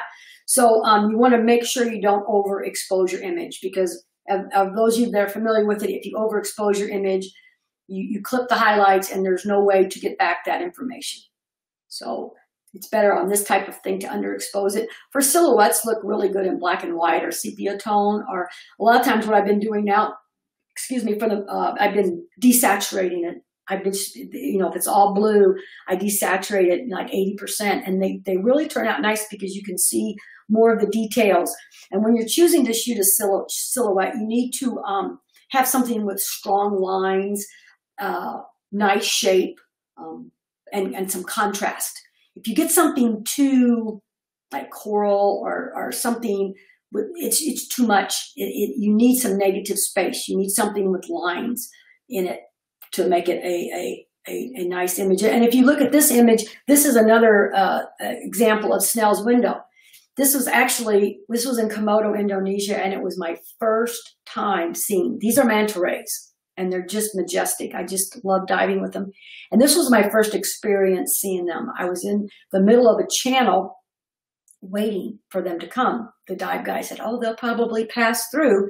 Well, I metered the water, I don't know how many times, and I was so excited. He, he said, they're coming, they're coming. And I, sitting I'm waiting there, I'm waiting. I was probably maybe, how many meters? Five, ten, th three meters, four meters deep, not very deep at all. And I was so excited, I almost forgot to take a picture. So I I only got two two images. I right when they flew overhead, I was like two, one two, but it was a wonderful experience. Here's uh, two more examples of silhouettes. I always tell people keep it simple, less is more, and I, I do believe that in a lot of things. And like I say, incorporating negative space is really um, something that you need to consider doing with your images. The image on the left, I took years ago in, in Cozumel, Mexico. I, I was doing a safety stop. We were at 15 feet doing our three minute stop just for safety reasons to get some more of the nitrogen out of our system. Um, I looked down and I thought it was a like a shark or a eagle ray or something, and it was me. So if you see that image, that's my reflection. So to capture a silhouette, you need your light source behind your subject. Well, my light source is behind me, even though then I'm the subject. So that's just a silhouette, but it's actually reversed. And that's the the sandy bottom of of the uh, Cozumel, sandy bottom. And, and this is a part of the reef. But you can see my strobes.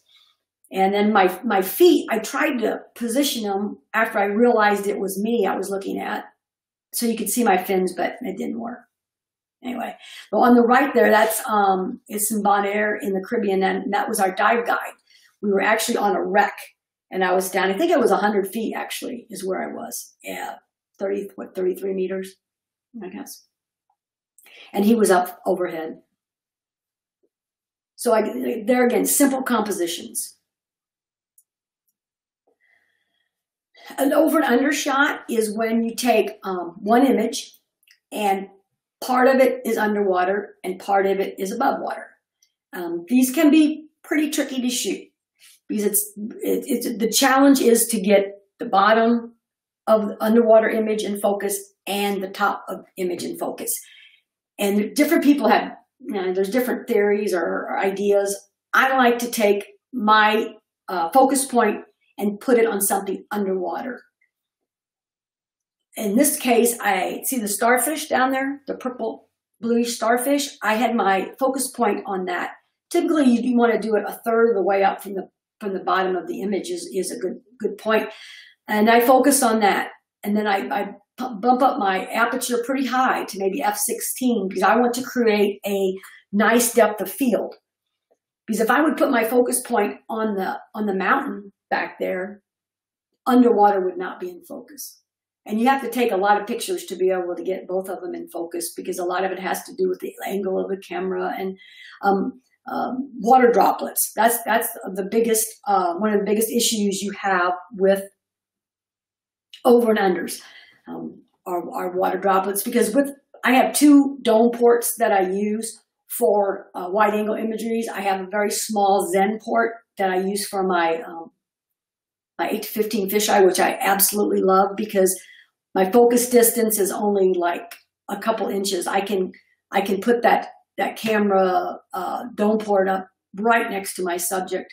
Um, but to do a dome port, to do over and unders, you need a big dome port. The bigger, the better. Well, I have a, it's not huge, but it's typical size. It's about eight, eight and a half, nine inch uh, dome port. Uh, mine is um, circular. I mean, circular. Mine is acrylic. Uh, some of them are glass. My small one is glass. Glass has gives you a little bit better uh, optics, but it's very, very heavy. And I had carry so much gear, I cannot afford the weight to carry it with me. So mine is mine is acrylic, and you really have an issue with water spots when you have this. So what I do is I you can obviously you could see spit on the front of your dome port and wash it off. And I take sometimes reef friendly, which you really want to use reef friendly um, shampoo, put it on my dome port before I go in the water. Then I um, rub it off. Another thing that I've heard, I've never done it and I want to try sometime, is to take a potato and take a potato and rub it on the front of the dome port. And apparently the starch from the potato will uh, decrease the water spots. But as you can see, these um, wide angle, uh, and then I will just dip the camera in the water and then lift it up and take a picture. for me, this is kind of difficult because underwater, my camera is very easy for me to maneuver. It's a little negative, um, but above water, it's probably, I don't know, kilos, it's probably 30, 30 some pounds. So when I'm trying to lift that above the water, it's, it's difficult with the strobes. But as you can see, the fisheye, this is a regular fisheye lens, and it, it, it it distorts it to some degree, but in but it actually looks nice. It um, it can create high impact images. These um, fisheye lenses, and they're good for over and under under shots. As you can see, there's more distortion on the above water than there is below water, and that's just the nature of the lens.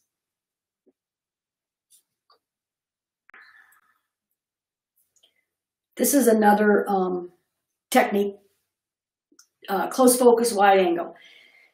This is when you take a subject and you force a perspective of the subject.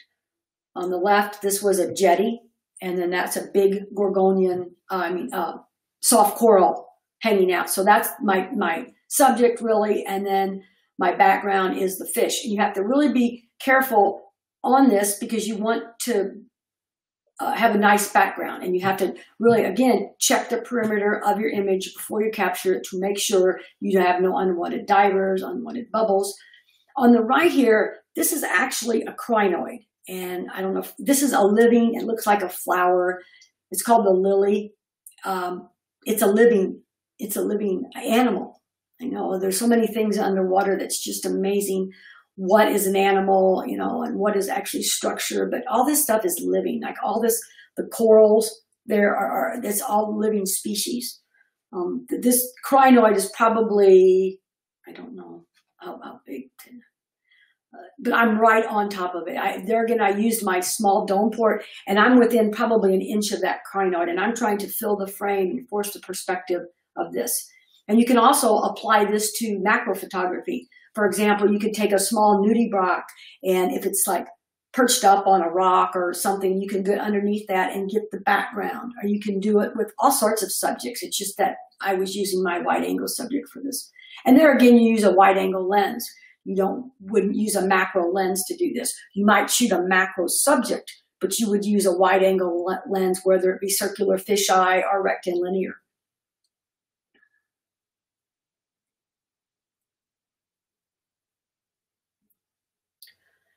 A few um, quick little tips. Um, this is applicable probably to every uh, every type of photography. Um, trial and error is intrinsic to you becoming a better photographer and taking your skills to the next level.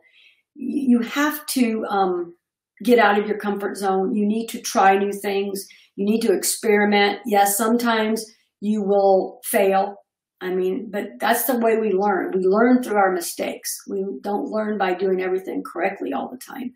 So I, I really encourage you to, to try different things. Take your camera, take control of your camera, shoot in manual. Don't shoot in automatic modes. I mean, it limits you so much. You need to learn your camera. You need to learn the menus. You need to learn how to do it.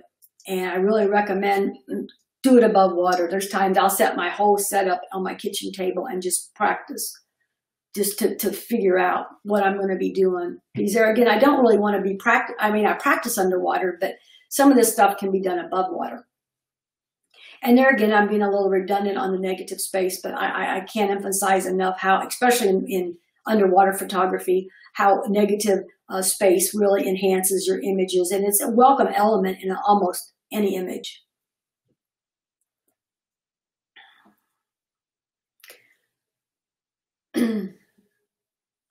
let's see. Uh, I have to say, expect the unexpected because you never know what you're going to see underwater. You know, we're not at a zoo. Things aren't, you know, you're not going to necessarily see maybe what you set out to see. Um, this is a, a, juvenile whale shark. I saw it in Tubataha, Philippines. Oh, we, we didn't have any idea it was going to swim by. It was um, I thought it was massive because it was the first one I've seen and it was like 15 feet, 16 feet. Well, come to find out it was just a juvenile. And now since then I've seen uh, whale sharks twice the size and they're just spectacular to see. Um, so just always keep looking around, you know, don't keep your head, if you, especially if you're shooting macro, I love macro, like I said before, but uh, look around, see what's uh, there. Don't always keep your head buried into the reef or into the sand. Again, get outside your comfort zone. You know, if you're good at shooting nudibranchs or you're good at shooting um, starfish, do something else. Try something else. You can always go back to what you're good at doing, but try something else. It's very, very important because what's going to happen is there's going to be peaks and valleys as you go through your photography um, journey. You will get better at certain things and then you'll regress. It's like anything else. Then we get a little bit better. And my my um, just stay positive. Just I always think of having keep your glass half full. All right. In conclusion, um, photography is a journey. Enjoy every step of the way. Uh, be a visionary. If you see it, you can shoot it. And slow down, relax, clear your mind, um, shoot wide angle, and enjoy the freedom. And that is the end of the presentation. And I hope you enjoyed it. Um, thanks for listening. That's my, I have my website is bethwatsonimages.com. My Instagram, I just took a picture today because I'm really trying to gain Instagram followers. So if you guys are on Instagram, I would appreciate that. And I try to post something every day on Instagram. Um, and then my Facebook page, I post on fairly regularly, probably four or five times a week is at the bottom. So, um, like I said, thanks, thanks a lot. If you guys have questions, I would, you know, would love to to answer them for you. And if you ever want to send me a private message, or you can send me a message on DM on Instagram or on my Facebook, or even get find me on through my website. So I have a lot of stuff on there. If you guys are don't have anything to do, I know this time is a little uh, you know tumultuous what's going on with everybody, but um, so take some time and yeah, there's a lot of information out there. So yeah. Um, yes, we do have a lot of questions. And one request to everyone, uh, guys, please uh, show some love to this presentation. Please follow her. Uh, her Instagram handle is here. Uh, second request is, uh, guys, please, we are working for a cause. These all presentations, workshops, webinars are free of cost for everyone. Uh, please do donate to the Prime Minister Relief Fund or any other charity which you have. You can find link on our uh, webpage as well where you have registered. Next is we have a number of questions here. Okay. Uh, but one uh, one question I have maybe on the funny side, lighter side. Most of us we know Nemo fish, which is Uh-huh. clownfish. How Right. had been your experience? I saw some Im- images in your presentation. So Uh-huh. how had your experience capturing them? And I think they're most beautiful underwater. That's the first thing which uh, comes in mind. You know, the Nemo, the Finding Nemo from there. That's correct. Um, they are they are fun to shoot. I, I excuse me. I've shot them for years, and I just every time I love to shoot them. They have such personalities, and they're very interesting. They're they're on the anemones. If you look on my um, Facebook page, my profile, it's a, it's Nemo. So it's a orange. I didn't have time. I was going to actually take a clip and put it on this screen, but it's an orange Nemo. Uh, the Nemo is orange and the, the anemone is bright green. It was one of the most beautiful I'd ever seen. And um, it's been one of my favorite images. And they are so fun to watch because they have their pecking order and there could be one or two on an anemone or they could be um, five or six. And what's interesting, this is this is kind of the anemones, they're all born male, okay? And then there'll be all the little anemones, they're all male. And then when the female dies, the dominant male becomes female. That happens a lot underwater. I mean, it's amazing some of this, the biology of it. And when you start to learn some of that, it even makes the stuff more interesting.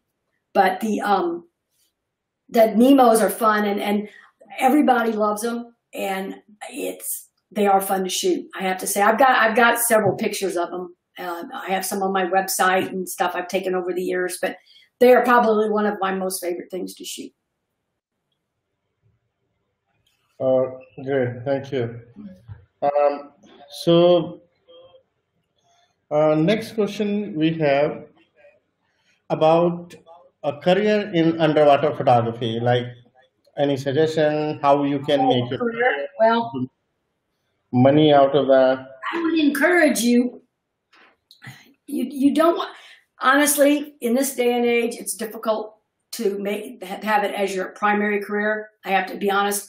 Um, years ago, I do some magazine work. I get you know I get paid for that. I, I you know images. I write articles. I don't write a lot of articles, but I could. It's not one of my most um, honestly not one of my most favorite things to do but um, you get you do get paid. Some of the print magazines pay pretty well, but a lot of the online stuff you just it's more or less you contribute and then they will give you advertisements or, or whatever. But honestly, you're not going to make a lot of money. It's, it's a passion. It's almost like a lifestyle. Diving is is kind of a lifestyle.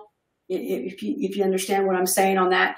And I just I love it so much, and I like to share with people my experiences, especially with people that don't dive they have no idea what's underwater. And people that dive, they have a relationship. They, they know what it is. But people that don't, um, they seem to really appreciate it. And when I share with them, they, they really like it. But as far as a career, I mean, you could be a marine biologist and then incorporate the photography on top of that. I know people that do that. And that's more viable. That would be a better avenue to pursue than just underwater photographer. You're, you know, um, it, you almost have to to to make it uh, to put to put food on the table, so to speak. You're going to have to um, incorporate probably something else with it. Okay. Okay. Um, we have um, one more question. Like, apart from underwater photography, do you pick up your camera for any different genre, portraits, wildlife, or any other Yes, I genre? do. Actually, I, I not as much anymore. I did um ago. I did a series of postcards for our. We live in a very beautiful. It's a rural area. We have a lot of streams. It's called the Ozarks, and there's a scenic riverway. And I, I've done a lot of. Um, I've done some landscape, quite a bit of landscape stuff too. Not not in the recent years as much because I've done. I've been traveling a lot more. I mean, I was in Asia uh, last year year before last, I was in Asia, six, five different trips. So, I mean, that's a lot of travel and it's halfway around the world. So I have to get acclimated to the time change and everything. But in answer to your question, yes, I have done um, topside and I really enjoy it too. Okay. Uh, you mentioned your Facebook page. We have opened it right now. So hmm Okay, great. uh, profile, you can walk through if you have any anything you want to show us, or we do see your profile picture as a Nemo page. Okay, you see it? Okay. I'm sorry, did you want me to do that or did you want to? Um, We have you can you can yourself see it is there on the screen. oh, no, I, I can't see it. I have to escape. Okay, no problem. But you do see Oh, yeah, yeah, yeah, yeah. There you go. Yep, that's me. 2011. He's showing my Instagram profile. That's me. Thank you. And I do have a, um, which I'm going to eventually probably use. Um, I have a Beth Watson Images Facebook page, but I don't really post that much on there. I don't like to double post because if I post on my personal page and then I post on my other page, I post twice, and I'm I don't know I don't don't like doing that, but I'll Okay. eventually have to because I'm about honestly I'm about maxed out on my friends on my Facebook page. But I think you can only have five thousand, and I've got I can take twenty more I think there Oh, okay. Okay. anyway. But I really, the Instagram is important to me anymore because, um, and Facebook too. I, y'all feel free because what I can do is go through and purge a few out. You know, if I ended up getting more people wanting to join my Facebook, and there again, I can start. If if I if I have some interest, I can go ahead and start using my other page as well. Oh, great. Uh, we have another question Mhm. uh, from Hema. Uh, how do you get black background underwater? Okay. Um, for for a uh, macro shot, the easiest way is to use a, a snoot. And what it is, it's it directs the light and it, it makes like a um, just a just a, a beam of light, and then you hit your subject with it, and you have to have a fast fast enough shutter speed to block out the ambient light. So it's just like a spotlight. So I'm taking a picture of whatever, and I, I used to snoot a lot. And if you look through some of my galleries on maybe on my website or even on Instagram, if you scroll down, you'll see um, uh, some of the images that I that I've taken. And if they're if it's a small macro subject and it has a black background, I probably snooted it. I, for sure snooted it because I don't go in and like make the background black in Photoshop. When I when you see my images, it's technique. It's not photoshopped or what I do edit the images, of course, color correction and, and so on and so forth. But as far as like blackening the backgrounds, I don't. And then for a wide angle shot, such as my manta ray shot, uh, I make it black and white. And then if you make it black and white, you can make the background black by making it black and white. And those are the, really the two ways to do that. Um, okay, thank you. We have a question why uh, why do waterproof cameras have depth rating and how long can I'm sorry, waterproof cam. I'm sorry, I didn't understand. Waterproof camera, what? uh, this uh, why these cameras have ratings for the depth that how deep these camera you can Oh, rate, depth rating. Usually they're ranked rated to like a hundred meters, so it's not like you don't ever want to use it. So they're, they're usually the depth rating, unless you buy um, a very small, maybe a re really inexpensive camera, then they might not go as deep, but these cameras will go as deep as you ever want to go, right? You don't usually have to worry about that. What you have to worry about is taking care and cleaning it, checking the O-rings, because what they have is when you open your camera up, no matter whether you have a small system or a big system, point and shoot, digital SLR, there's their system, they have an O-ring. And the O-ring is a rubber grommet that you put in uh, a channel and then you close it up. And that O-ring is what keeps the water out. And that's when it goes under pressure. And you have to make sure that the O-ring is clear uh, of debris and sand in that, because that's how you get a leak. All right. So that's your biggest problem. The depth rating is never really an issue, um, but it, it's just taking care of your camera and make sure that you do good maintenance on it. Um, thank you. We have another question. Oh, Uh, get- what is your new work next? Excuse me, I'm sorry. Uh, when is your next workshop? My next trip? Uh, workshop? Any? A workshop. Oh, well, actually, I don't have one planned. I was supposed to maybe do one in, um, I was doing one in the Philippines in June, but um, obviously that got canceled. So I really don't have anything in the works. What I'm going to do though is I'm going to, um, when I go on some of these trips, uh, they want me to come and I may be doing a workshop next January on a liveaboard trip. And what I can do is um, I can, if you guys have a mailing list or reach out or something, and I can send you information when I do do something. Because on these workshops, what I'll do is take a group and then we will uh, do hands-on underwater. I'm, I'm a big proponent of, of teaching underwater as well as topside because you know I want to help people underwater, you know, their strobe positionings, with camera settings, and so on and so forth. And then topside, what we do is we edit, we go through and we work in Lightroom, we work in Photoshop, and then I might do some presentations during the week, like every day, maybe 30 minutes, maybe on strobe positioning, on whatever anybody need, whatever they would want to learn. That's kind of how it works for me. Um, uh, okay. Thank you. Actually, But I'll let you know if you're interested. no, I'll be glad to. I was not expecting uh, that much of uh, people. Like we have our number of audience are full since beginning. Some of people are able to join because there is a limit is crossed in this webinar. So Uh-huh. there is a great number of people, good amount of people, those who are interested in underwater photography. As before this workshop, we had been uh, like we had a little conversation that in India we don't have much opportunity because we don't have those resources. But Mhm. a couple of people have asked, like anything which you do near to India, maybe in Indonesia or uh, Thailand or some other country which are closer to India. Uh, definitely would like to uh, uh convey to our all uh, Chiiz user mm-hmm. workshop such events. So definitely would look forward for that.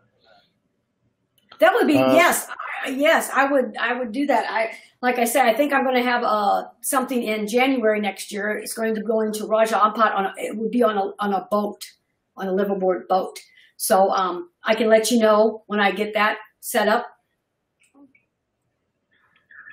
Sure. Um, we have we, we have almost uh, six more minutes to go. Okay. Uh, number of questions are there. Are many questions which are there. Would would pick up a couple of questions here. Uh, sure. One of them how good you are how good you are in diving? Like do you do diving only other than photography sometime for some other purposes?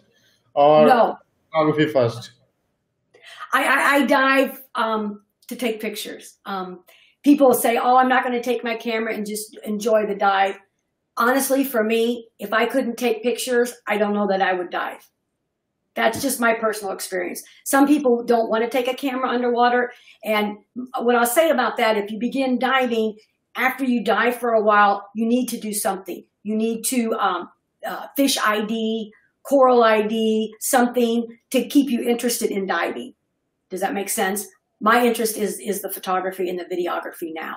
Um, I love doing it, and I haven't been a handful of dives without my camera with me. Okay, uh, great, thank you. Mm-hmm. Um, we have uh, one more question. Sure. What uh, you have partially you have answered, you have mentioned in your presentation too. This question is being asked a couple of times. Mm-hmm. Of the composition, are there some different kind of rules, different kind of uh, thought process you have when you are shooting underwater compared to when you are shooting the, on ground? Oh, yeah, yeah, there is. I mean, because you have a lot of different elements and things to take into consideration. You know, for one, your buoyancy. See this this fish you have right here? That I mean, those corals are very fragile, and I'm down laying almost parallel to those corals. You know, and I have gear, I have my my hoses, and I have things dangling down. And I have to make sure that I'm not hitting that coral. And sometimes you get so excited. I'm always excited. I honestly, I, I get excited all the time when I'm taking pictures. I, uh, I, you, you have to um, pay attention to what you're doing. You have to know your surroundings. You have to know what's going on. And what I try to do on most shots, I look at something, whether it's macro, whether it's wide angle, I see the composition or I see the subject, and then what I do is I, I visually think, okay, this is what I want to do. And then I physically turn away from wherever I'm shooting and I think of what camera settings I want to set. Okay, so then I make the initial settings and I think of strobe positioning. So I make my strobe positioning however I want to do it. And then I go back, I get my buoyancy right to make sure I'm not, you know, I'm where I need to be. Then I go and take the picture. You know, it's, it's really important for macro because I don't want, I'm like for that example, that last shot, that's beautiful coral hanging down. I'm within under a meter from that coral head. Okay. I don't want to be up next to that coral head, fiddling with my strobes, fiddling with my camera. I want to have all that set. You know, I might change my shutter speed and aperture a little bit, but for the most part, I want to have 90% of the stuff set up before I go in because I, I, get too close and then I hit something or I get off, you know. So I don't know if that helps. And the same thing with macro. I see a subject. I'm like, this is what I want to do. This is how I want to shoot it. I back off. I set my stuff up. Then I get my balance. I get my buoyancy. I get my trim set up. Make sure my, a lot of times I'll take, this sounds crazy, but I'll take my tank and shove it and make sure it's centered in my back. Because if I'm off just a little bit, it, because I don't put my hand down when I shoot. I control everything with my buoyancy.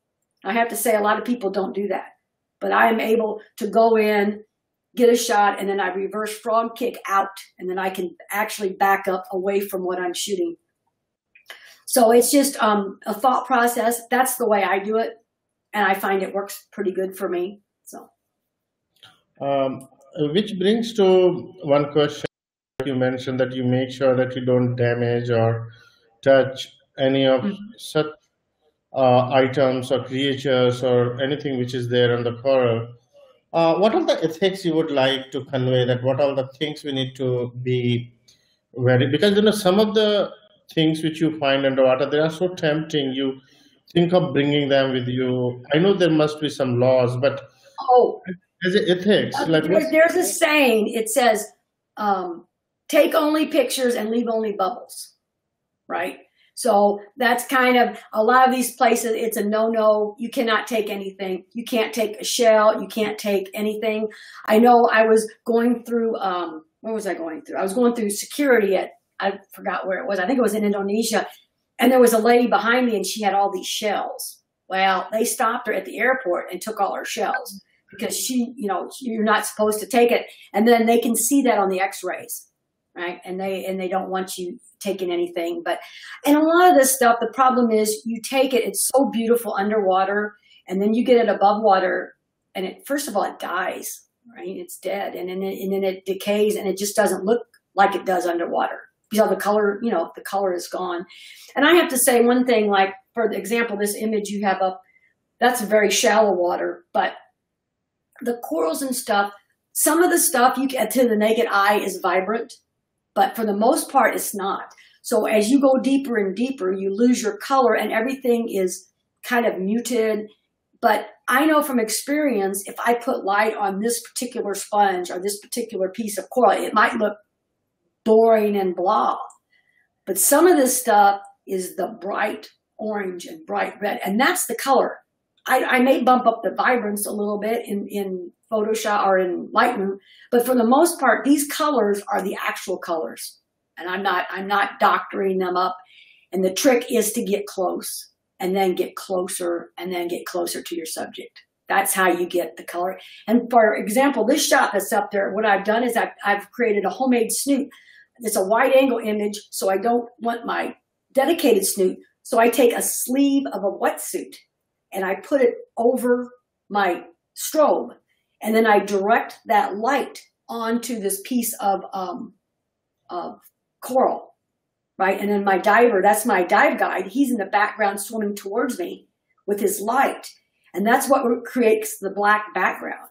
I don't really do that in Photoshop. I just do it, it's technique, right? Great. Um, so it's almost time that now I have a last question.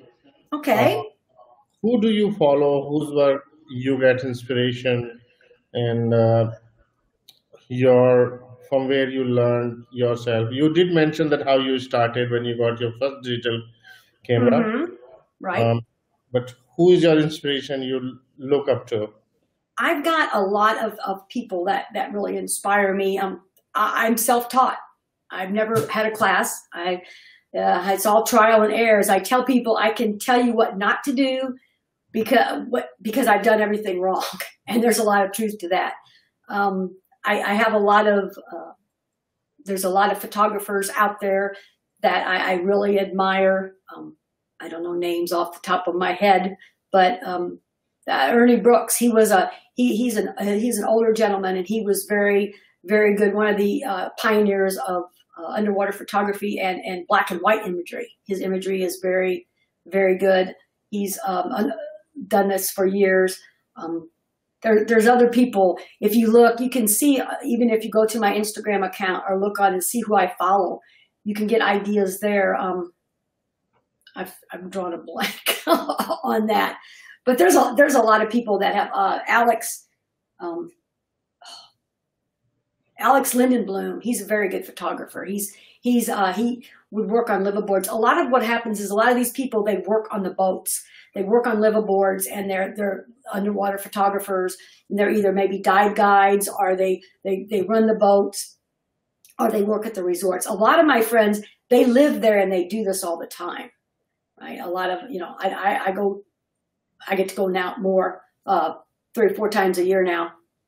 But and I'm, I've been piggybacking trips on. I because it, it costs a lot and it's a lot of effort to go over there. So what I've been doing now is maybe going to two different destinations or going um, on a, a live aboard trip and then a, a land-based destination. So that's why I'm trying to maximize my my travel because it is really difficult to, um, you know, it, it's hard on, on, on me to go over there because it takes like 10 days, a, a, week for me to just get acclimated to the time change and everything. I think I got a little off base on that question, but. Um, Correct. No, no. Um, I guess uh, uh, we are having a lot of questions. Some of the questions are partially answered. So uh, the recording for this session would be available on the same website from where you got you guys got registered. We would be sharing also. Uh, certificate. Okay, I would appreciate that. Um, All right. Well, thank you so much for listening. I'm, I'm, thank you for having me. If, like I say, if you guys have any questions or need some information, I will be glad to help. I really am. I'm here to help you. Uh, really appreciate that. And guys, she woke up too early because of us. Uh, currently, yes, it's early. Uh, it was early morning for her. She woke up for us. We did some testing, a lot of background work, and really appreciate that doing this uh, webinar for us. And hope, uh, like, let's all pray that uh, uh, this lockdown will be over and uh, we will be back to our normal shooting mode. And thank you, Beth. If you want to say something, please go ahead. Well, I just want to thank uh, everybody for for tuning in, and I hope you learned something, and I hope maybe I inspired you a little bit to, um, if you're not a diver, maybe to give it a try, and if not, maybe you can just follow along and and you know maybe you'll find some other photographers to follow, even if you're not a maybe even if you're not an underwater photographer, and I want everybody to you know stay safe and and, and healthy. Right, that's the main thing. Guys, please follow her page do donate. I would appreciate the following. I, I, really would because it helps me and when I um, create content for people because then you know I, I, promote them. For example, as you can see on this picture, I do at Mermaid Liveaboards. And if you're ever interested in where I go or what I do, a lot of those links will take you to their pages and you can go and explore further. Even if you're not interested in going, it's something to look at, something different, right? Right. So I guess some of the followers are already increased. So you are on a little higher side now, and I'm sure awesome. more people will follow. At the same time, thank you very much, Beth. And I guess you need thank to take you. rest now. All right. Let so me know if I can do anything else in the future. All right. Thank you all very much, and thank you for being one of our editors in one of our issue uh, earlier. We did mm-hmm. publish mm -hmm. your work. That's when we came in uh, like we contacted you first time. And right. thank you. And guys, uh, thanks, Beth. You can log off and anyone. Right. Of, yeah. And log off. Of, All right. Thank you, guys. I appreciate it. Thank you. And for others, if you guys have any question, I can mute you. Beth is not there, but uh, uh, I would be able to help any question you might have uh, anything related to publishing, certificate, you can raise your hands and I would be able to answer you. Uh, if anyone of you want to ask before leaving this webinar,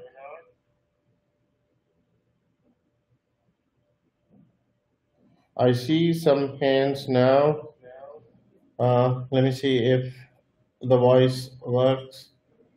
Or even after this you can leave your questions to us. You have our email id and we are getting a couple of thank you messages thank you guys thanks for uh, joining us it was lovely session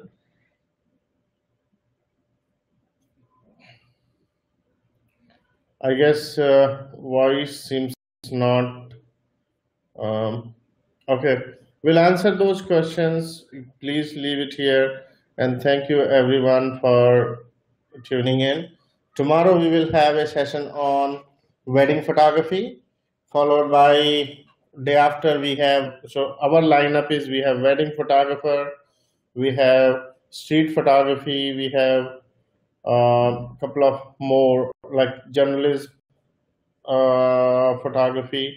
So a couple of more exciting sessions are lined up. We uh, like you will get an email alert and if that session suits you please do join. But make sure that you join before time. Uh, today also there were some people they were unable to join because we have a limited number of people those who can join this webinar. Thank you guys. This is mukesh uh, from Chiiz photography magazine. Uh, thank you very much for being a part of the journey